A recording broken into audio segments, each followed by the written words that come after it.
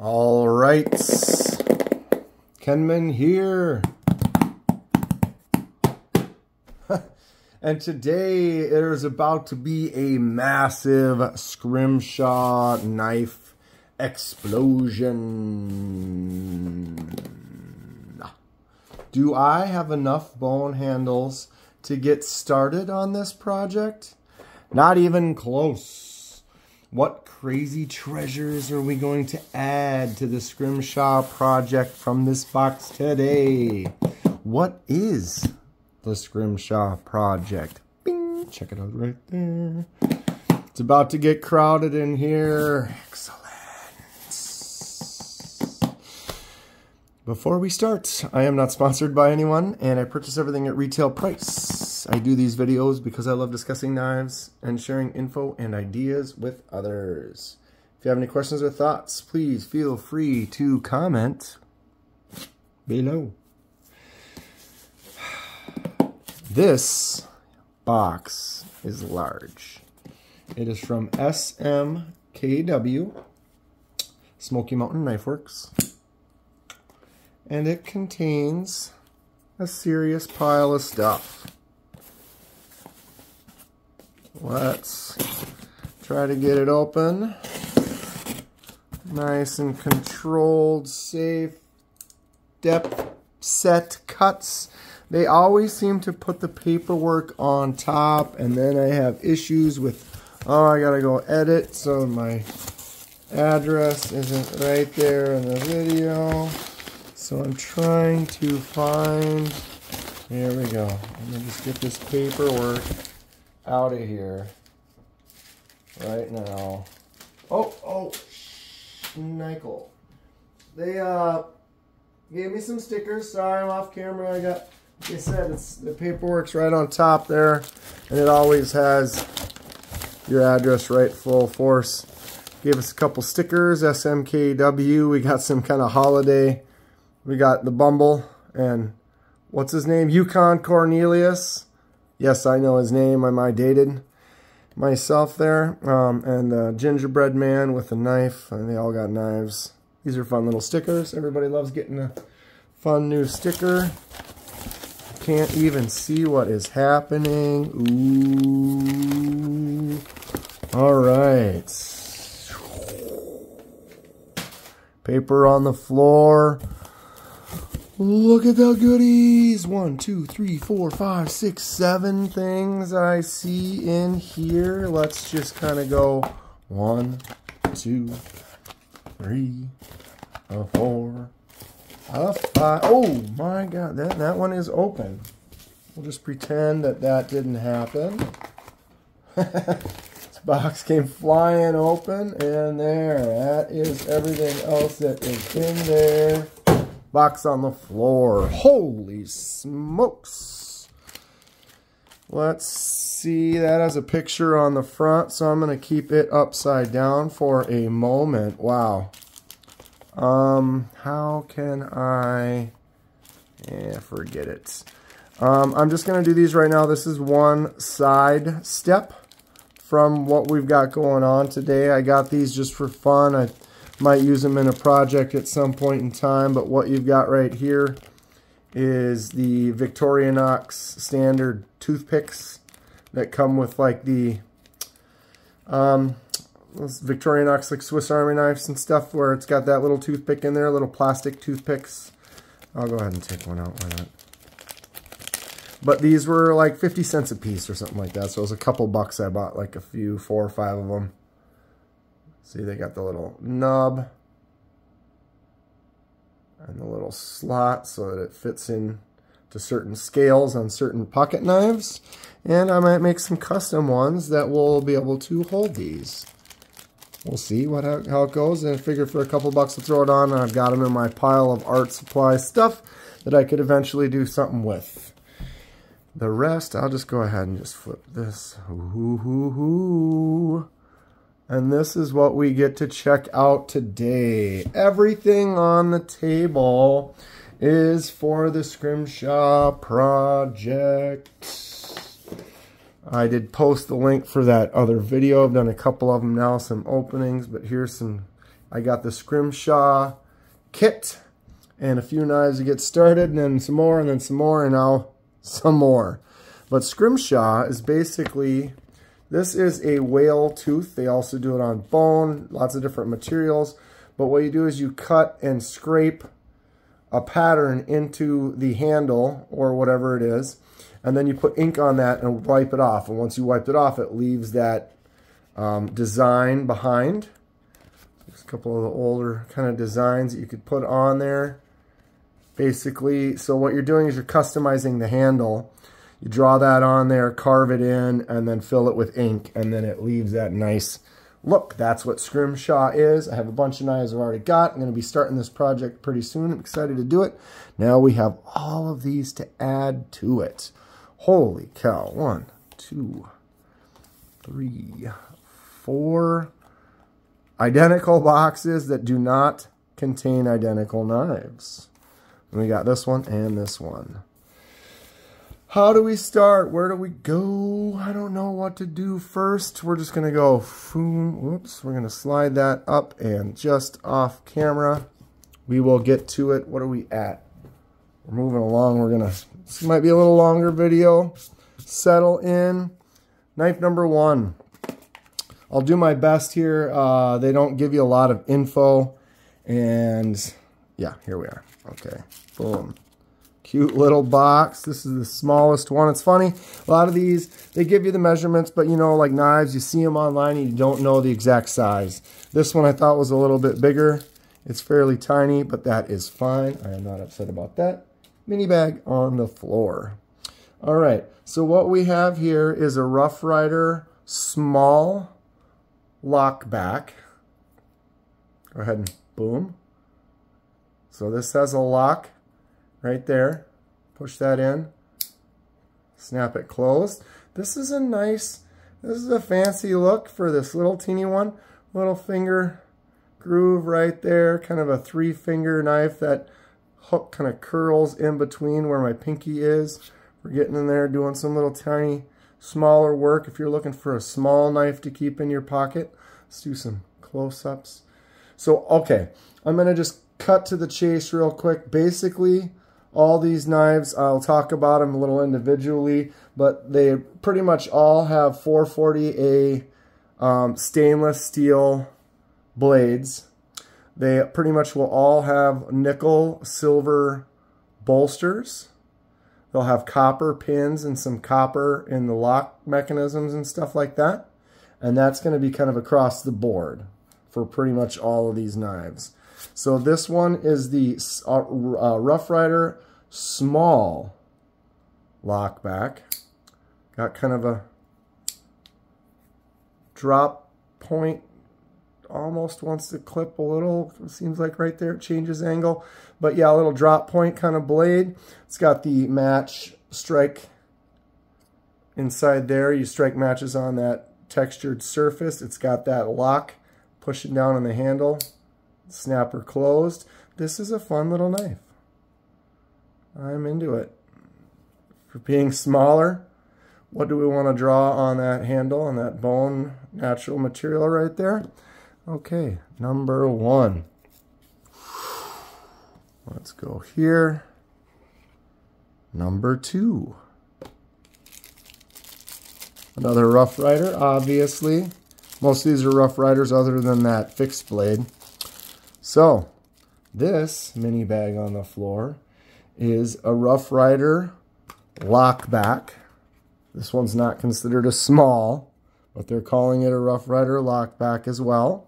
Definitely got some more locks. The last uh, order I got, I only got a couple that are lockbacks, and this one is definitely more of the locking knives. I just saw some different ones, and ooh, the way your finger fits in that in that first spot right there and then all three fingers fit on there. Handle sticking out. That is a little bit better grip a little bit better Kenman grip compared to this smaller one. Obviously it's significantly shorter. I also enjoy how wide this gets at the end. That kind of makes it feel beefier in your hand. When you're grabbing on like that I dig it. Shorter blade for a lock back, though, look at that. Boom, nice little lock. So yeah, I'll remind you again, we've got the, the nickel silver bolster, got the brass pins, some of the brass on the lock mechanism and the liner, got the match pull or the matchstick strike, match strike pull, they call it. All right, boom. And obviously the bone for some scrimshaw action. Nice big surface right there, right? Very cool. How are we doing so far, huh? Having fun? All right. Next one. This one, this one, this one. Ooh, I think this one's the heavy one. I'm, there's one I'm trying to save for later. Not that it matters. We're going to get to all of them here. All right. Next up. Same box. Same mini bag on the floor. This is the Rough Rider canoe. They call this the canoe. You can see the shape kind of scoops up there and there without the blade in the way. It's got that shape of a canoe. This is like a classic style. It's been around for a long time. Um, the Rough Rider canoe, obviously, same 440A mirror stainless. This one has two blades. Boom, boom. So you got two kind of drop point blades. Uh, a little bit larger one, a little bit smaller one. There you can see that canoe shape a little bit more on that handle. Very nice looking shape. Boom, boom. Boom, boom. Yeah, Rough Rider canoe. So this one is not a lock back, but this is that one of their classic, that canoe shape is just a classic old school design. I like this, you know, like I said, doesn't have that lock, but you got your half stops, boom, boom, kind of help prevent it from slamming all the way shut on your hand. This does feel nice though, as far as just a interesting knife to have in your pocket. I like the canoe shape. I might put that canoe paddle on there kind of make it a theme. Yeah. Okay, there it is. Three down. Let's keep rolling. Let's take a little sidestep, huh? Why not? Oh, we've got tape. We've got tape. Get my pyrite out. Boom, boom. Okay. So this is the Gentleman's Whittler Fixed Blade. Okay. Got this funky looking sheath. Interesting looking kind of a sheath there. Kind of more of a natural design of a sheath. I guess you would call it. I don't know. Ooh, that's a piece of wood. That's an actual little chunk off of a tree. That's interesting. Little bag on the floor. All right. So this one does not have the nickel silver on the bolsters. It is just brass on that guard. Again, this one is a little smaller than it looked like on the uh, photo, but man, this is cool, actually. I think this looks neat. Let's just try it in here once just to see it in that sheath. There you have it. So we've got the Gentleman's Whittler fixed blade with sheath. It's got the bone handle with the brass, those red lines on that bolster. Nice little uh, effect, little look. It's got some weight to it. It's full tang. Look at the, so that, which means that the blade steel piece goes all the way. The handle is completely uh, filled with a chunk of metal. This is one big piece of metal. Makes it a little bit stronger. More of a, it's a solid fixed blade. Um, when you get that, some of them, the, the blade will actually stop like here. So this, look how thick it is too on that. It's Pakistan, says right there. But that is a real thick stock. And it's really kind of beefy all the way out to there where it kind of tapers. Very shiny, polished look. This is not a larger knife.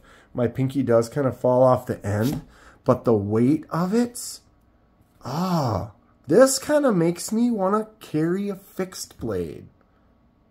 You know, I've seen some of the newer fixed blades where they have sheaths that basically are go into your pocket so that you basically slide it into your pocket like that and it kind of still clips over. So the clip stays in your pocket and then you can pull out that fixed blade and do that work. Now I, if you saw I'll, I'll link it right here. I did a spine whack test. Um, not, you know I'm, I'm definitely use the right tool for the job kind of guy most of my folding knives I'm not going to do something that's going to create a lot of pressure on the back if I was I would use something more like this where this is solid. That is not going to give way. You could whack the hell out of that off the back and it's not bending. Look at how thick that stock is. But let me tell you, this feels really nice. I really like this. It's small. It wasn't too expensive, but oh, getting all three fingers in there and reaching up, I feel like I could do some work with this and it kind of, again, makes me want to start maybe looking at some of those fixed blades. What does everyone think about this one? All right. Definitely not as big, or I thought it was, thought this one was bigger, thought this one was bigger. These seem about the size I imagined they were, but you know, you look at a picture, you just can't, you don't get that, that, that scale. All right. Couple left. What are we at? 16 minutes. We're having some fun here. All right. Another one in a similar style right? Get to it. Another Rough Rider mini bag on the floor. This is another a Rough Rider lockback. Boom. Similar style, slightly different. If you look, a little more rounded. Doesn't have the finger choil spot right there. But other than that, similar size. It actually looks like the blade is near identical right? So continuing on with the brass pins, the nickel silver bolster, a larger bolster. Ooh, this feels nice too. Just a nice smaller working knife. Got that nice lock right there. Engages easy, opens easy. Ooh, that feels nice. For a two-handed opening, boom, it's just smooth, solid. Doesn't really move. Let's. Is this one solid? yeah, these are definitely the way this construction and these these work there. I mean, it's there doesn't a whole lot of place for that blade to go and be weak. And they open. That feels nice on these. Boom, smooth. I have a couple. Some of those, um, I've uh, a couple of the other ones. Maybe we'll look at in a second here. Definitely kind of a little, so I've had some cheaper ones. They feel a little grindy, little chunky when you're opening up like this. These all feel really smooth. Like they don't have that kind of grindy kind of feel that are real cheap. These are not expensive by any means, but they feel really good. This right here, just smooth, nice click. Do you hear that sound? Right? No crunchiness. Feels tight feels nice. Actually, I'm I'm starting to be a little more of a believer in some of these knives. I mean, it's this is me. Flick out, button lock, fidgety, one-handed action. Nice laser mark that I did. Uh, that's my style all day. But I'm getting into this. I like to try different things. I'm an artist, and so um, the artistic side of me wants to do some stuff, and these were the type of handles that I could, uh, on knives that I could afford, and not to be too worried about if I were to screw one up. I don't want to buy like a $100 knife and experiment with scrimshaw on it. So it's like these are a little bit cheaper. I'll be able to not be as worried about it. All right, this is the last last one. This one's a little different. This one was kind of uh, something for more for Kenman than for the, it does have a bone handle. except for it's an amber colored bone. So we could still do the scrimshaw on that, but that ink, the black ink won't kind of show quite as much on there. But there are some things with this. Look, ding, ding, ding, ding. What is happening? And there's a pocket clip. What? This is the Rough Rider double lock back. Amber bone, nickel silver bolsters, just like everything else. Let's go ahead and get these out. All right, so there's one with the lock. Ooh, that's stiff. Or is that, what's happening? Why can't I? Am I a weak? Oh my goodness, that is stiff. Let's wonder if there's something in there. Just a little bit stiff on that one there. All right, so let's open the second blade. Boom, boom. So we got two blades. It looks like it's got kind of almost wants to be a clip point there and a drop point over here. Not that you're going to be doing it like this. All right, so there, there's the lock for that one. I don't know what is going on with this one. is really stiff. Feels like there's something not... See, then it doesn't even push out all the way.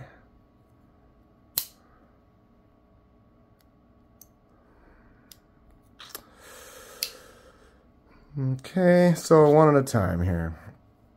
That is the smaller blade. Does feel nice. It's a bigger handle. So in my hand, that's a nice little grip on that. Nice smaller blade. Man, these... Something's going on with the lock. It doesn't want to work the way that I would imagine. I can't even get it to go. Kidding me right now?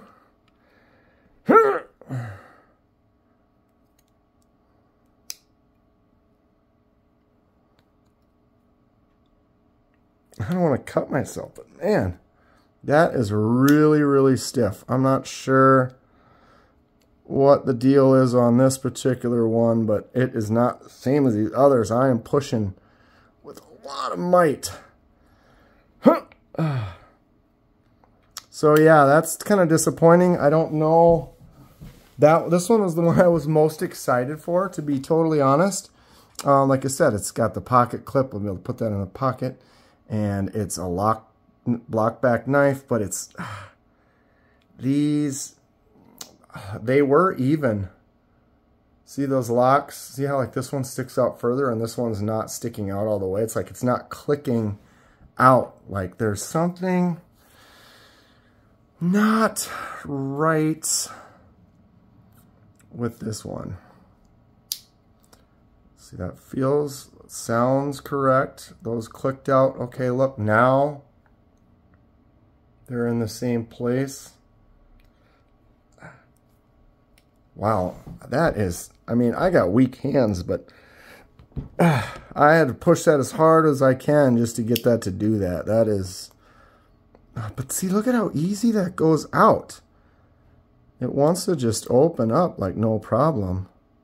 But then right here, it gets really stiff. And then once it goes in, now I can't I can't push that in. Oh, I'm gonna cut myself doing something with this knife. That is, I might, I don't know. I'm really unhappy with this at the moment. This is almost unusable as far as I'm concerned. Um, God, that was probably the most expensive one too. I'm going to experiment with this on the side. We're kind of starting to get long here. Um, go ahead and just pull these in real quick. Here's the other ones that I have. So we've got plenty to mess around with. I'll just go ahead and grab. This was one of the larger lockbacks that I got. Makes all these look pretty small, right? Another huge lockback. See, now watch. Push, close. Simple. Any of these, I just push, close. Simple. I cannot Oh, Man, that is... Right now, I really don't like this knife at all. It's like almost impossible to close. I can't even, yeah. To be continued on this disappointing yet amazing looking knife. I don't understand why, or maybe I just got a bad one. We'll see. Um, yeah, grab the camel, or the camel. One of these is camel bone, or no, that's the one that's coming in the mail. I've got one coming that's uh, camel bone. I don't know what kind of bones these are. Some of them are from bovine. this chubby little thick one. What can we put on this? That one's called the elephant toe. Anyway, all right, let's finish this up. A bunch of uh, Rough Riders today, other than this one, was from, I don't know, gent Gentleman's. What's that say? I can't even read that. It's fun. Nice little fixed blade. Bunch of uh, lockbacks today and the canoe. Pretty fun. I'm excited. What does everyone want to see on the Scrimshaw coming up here? Um, anyone have any thoughts on it? Uh, tips if they've done it before? Ideas for things I could do? Just comment below. Let me know. Anyone have any ideas on what I can do to make this lock work? Because that is painfully painful. My I've got divots in my thumbs trying to push that in. Look at how cool it looks, man. Life is always interesting, throwing some curveballs. You never know what's going to happen next. Very happy with all five of these right here. No doubt about it. Most excited about this one. Mm. That is the way life is. We, we're, we're here. We're getting stuff. We're checking it out. Um, excited to continue to do it. I will be getting into the scrimshaw practice and actual doing some of these knives very soon. So stay tuned for that. Uh, more unboxings, more customizations, laser marks, dies, all types of fun. That is it for today. If you enjoy what you see, please hit that like button. Subscribe if you would like to see more. Helps me out, and I really appreciate it. Tell me what you think of these knives. Stay sharp. See you soon.